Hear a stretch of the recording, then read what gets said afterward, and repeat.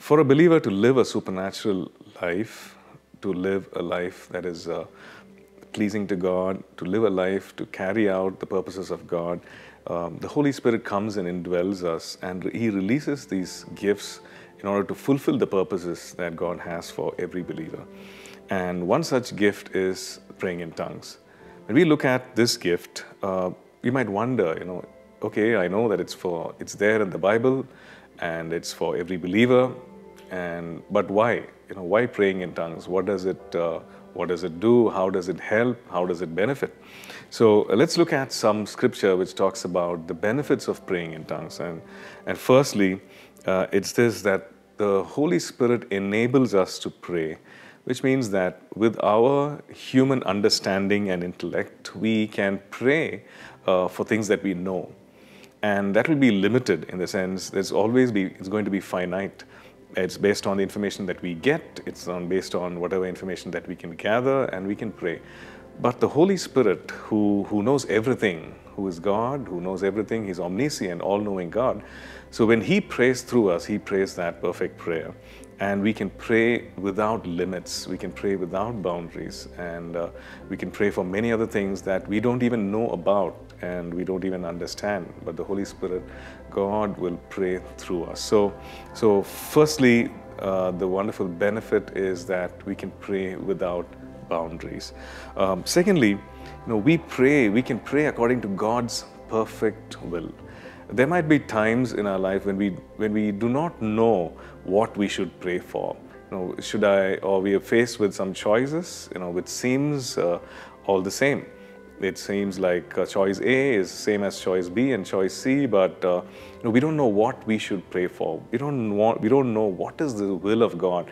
And at such moments, at such times, you know, we can pray in tongues and we can pray God's perfect will for us. Uh, Romans chapter 8 and verse 26 says this, and verse 27 also. Likewise, the Spirit also helps in our weaknesses, for we do not know what we should pray for as we ought. But the Spirit Himself makes intercession for us with groanings which cannot be uttered. Now, He who searches the hearts knows what the mind of the Spirit is, because He makes intercession for the saints according to the will of God. So, so that's the thing. When we pray in the Spirit, when we pray in tongues, we are praying according to God's perfect will. Praying in tongues also helps us to overcome the weaknesses of the flesh. Um, the verse that we just read just now, Romans chapter 8 and verse 26 says, Likewise, the Spirit, the Holy Spirit, also helps us in our weaknesses.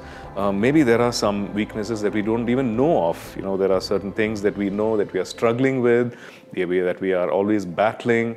The Holy Spirit helps us in our weaknesses. Maybe there are some weaknesses just which are below the surface that we, we don't even know about. The Holy Spirit helps us even with those weaknesses.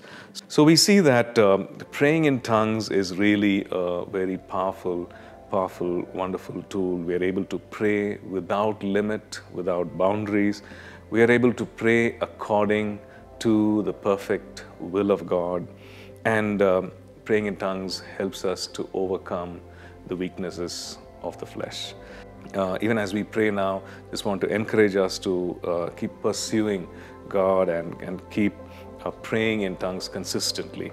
Father, we thank you for this time. We thank you for this wonderful gift of praying in tongues. And even, even as we've seen that we are able to pray without boundaries, we are able to, Lord, pray and, uh, uh, and you help us in our weaknesses. We are able to pray the perfect will, uh, your perfect will, O oh God. And I pray that we will persist, that we will pursue this with all our heart. We want to thank you. And if we have neglected, we have ignored this gift, Lord, we pray that uh, you'll bring us back to that place again of uh, fervently seeking you and uh, praying in other tongues. We thank you. We give you all the praise and glory. In Jesus' name we pray. Amen. Thank you for tuning in to Living Supernaturally.